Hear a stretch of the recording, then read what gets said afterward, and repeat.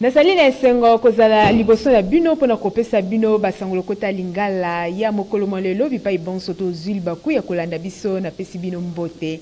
Tika to fongola sango na biso ya mokolo mwa lelo na ngambo ya mwana mboka Jean Pere Bemba Gombo mpo na koyebisa bino ete mwana mboka Jean Pere Bemba Gombo ayambaki ntoma ya ekolo Grande Bretagne ndeko Alison King. Ntina masolo na bango ezalaki nini? Tolanda yango na elobeli ya Flory Mbenga. Vice Premier ministre, ministre ya Defense nationale mpe ancien combattant, mwana mboka Jean-Pierre Bemba Gombo ayambaki mokolo mwa lobi moleki, o esika ya ye ya mosala, ntoma w'ekolo Grande-Bretagne oyo azwami na mosala na Republique democratique du Congo, ndeko Alison King.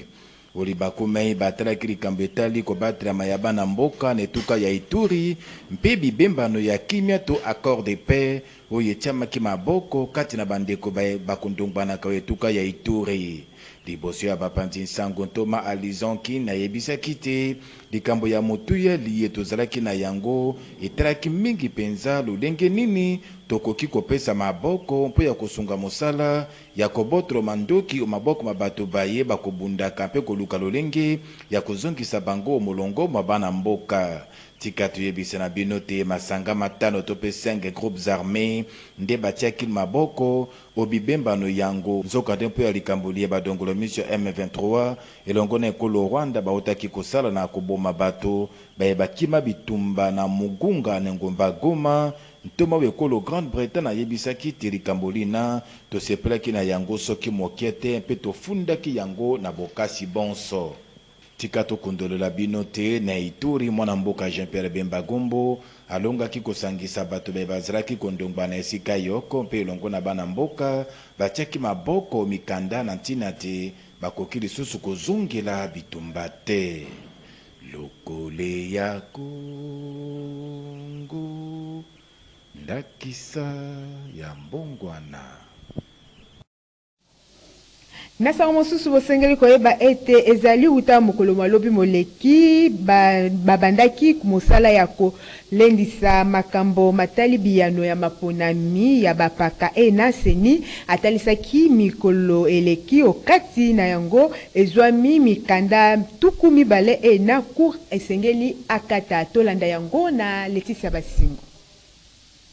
Bazuzi ya Cour constitutionnelle bavandaki mpo na kolandela mokolo mwa lelo ba nkombo, makambo matali biyano bya maponomi ya bampaka ba ekolo na ntina ya kotala ba bosenga ya bato baye bakotisaki na ntina ya kotelemele biyano biye ya mwa ntango ena ceni apesaki. Sima ya maponomi ya mokolo tuku mibale na libwa sanza minei eleki, engebene na maye etalisamaki Cour constitutionnelle, bakolandela makambo motango tuku mibale. Okati ya makambo yango ezwami na likambo ya ministre d'Etat, ministre ya mambi matali bosembo mpe bobateli mokoloto, mama Rose Mutombo Kiese Omna atelemeli maponomi ya mama Anne Mbuguje. Ona abimaki na molongo ya ba kombo ya ba mpaka ba engumba Kinshasa o ngambo ya lisanga politiki ya avc a ya ministre Didier Bidimbu. Na Sud-Kivu, ministre d'Etat, ministre ya developpement rural, François Rubota ye atelemeli maponomi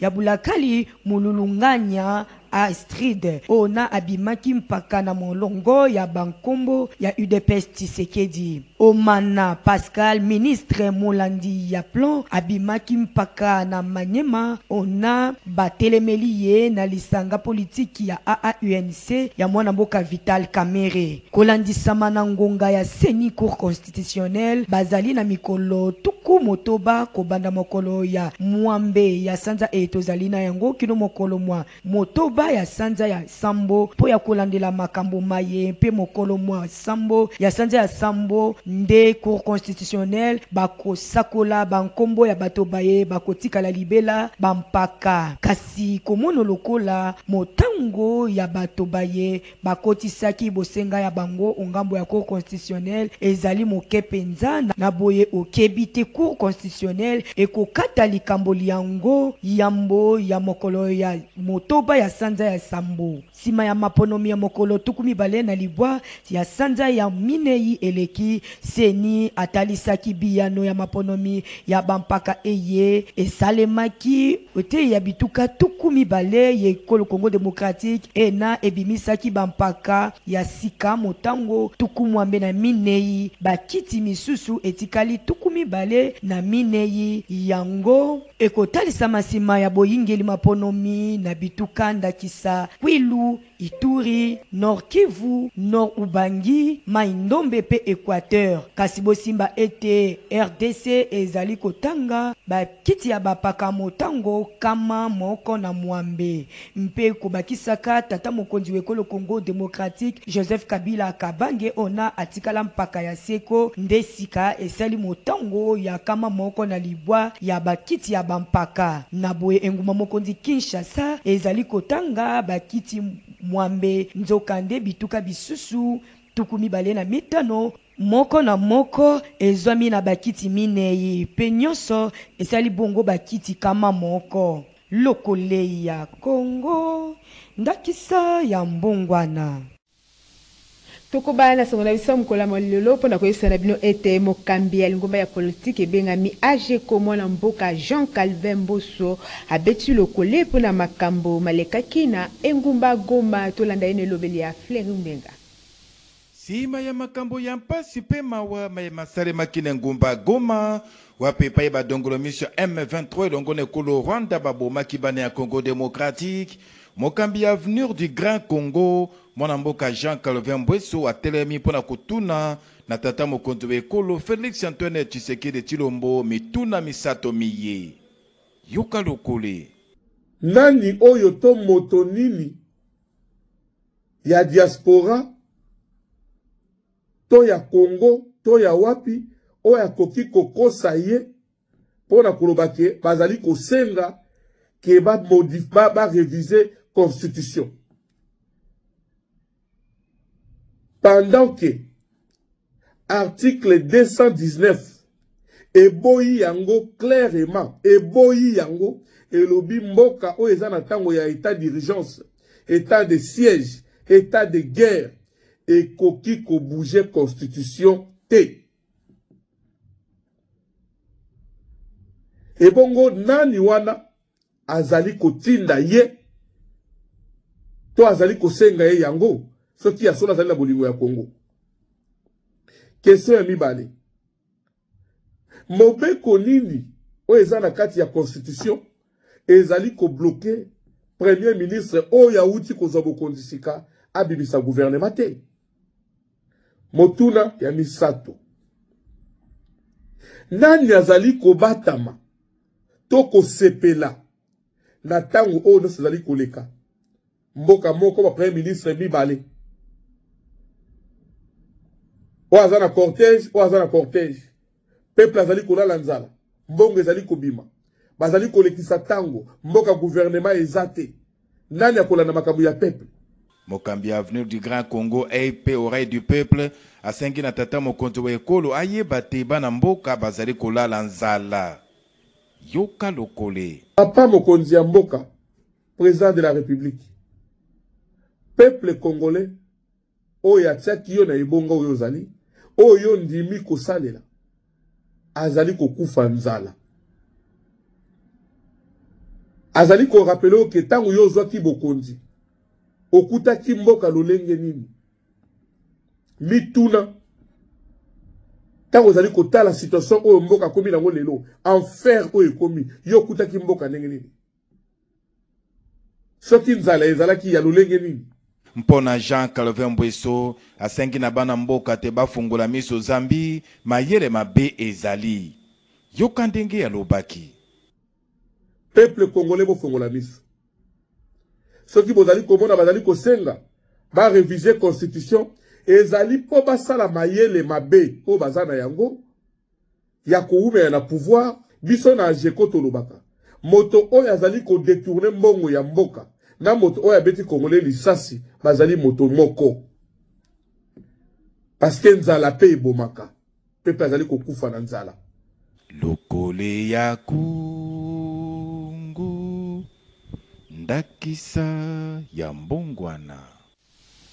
Totikala se na sango ya egumba Goma mpo na koyebisa bino ete bapanzi sango ya journal televisee lokole ya Congo bamanoli mpo na likambo etali kozanga mayi ya petwa na engumba Goma oyo esali poso mobimba bazwaka yango te. Tolanda yango na JTLC. Likambo etali kozanga mayi ya petwa na ekolo Congo demokrati ekomi kosisa soyo monoko epai ya bana mboka. Lobi ezalaki na boko ba commune ya engumba Kinshasa, kasi lelo ekomi ngala pe na boko ba commune ya engumba Goma.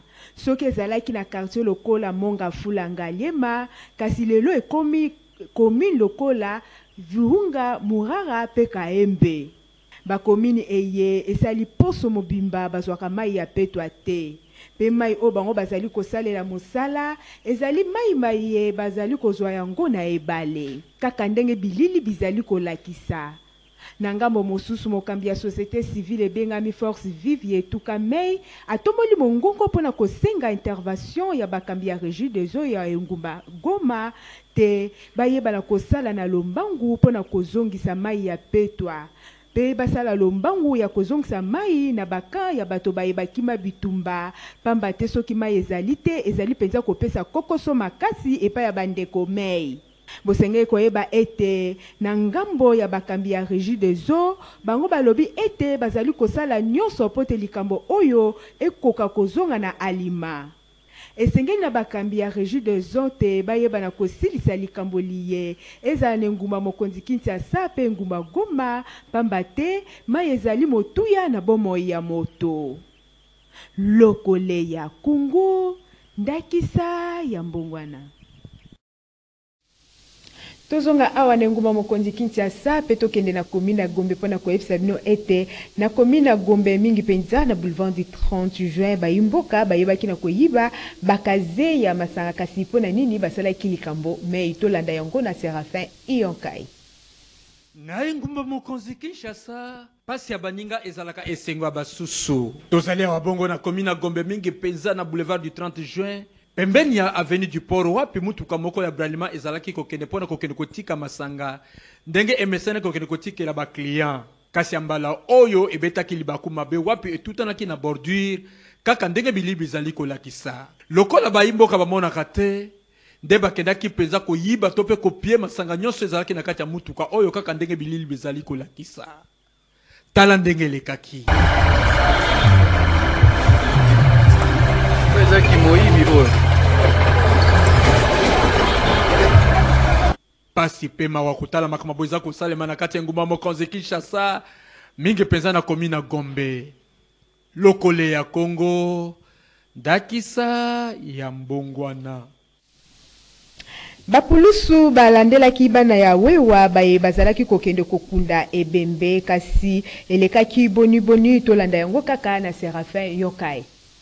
Kala na mokili ya Afrika, mingi mpenza na ekolo Congo democratique, bato bazalaka mpenza na botosi ya bawei. Kasi mokolo mwa lelo botosi na kati ya nguba mokonzi Kinshasa ezalaka lisusu te na bibembe. Botala maye mazali koleka epai ya bana Wewa ntango babanda kokende kokunda ebembe oyo na cimetière. Baza kosakana na ebembe lokola ndenge balingi bakanisaki ete moto oyo aza na bomoi. Na bizalela ya mabe ya bana Wewa nde etindaki ba pulisi ya engumba mokonzi Kinshasa kolanda mpe kokanga bango kasi na somo wana tala ndenge ebembe ekweyaki. Mawa! Omoni ntina bakolo mosusu balobaka ete soki nzoto ekomi kobela, bakende kokunda to mpe akende kokufa na ye na mboka? Mpamba te kotala makambo ya boye ezali kosalema ezali kopesa mpasi. Tala ndenge elekaki. Ebembe balobela kokunda yango na moto, na moto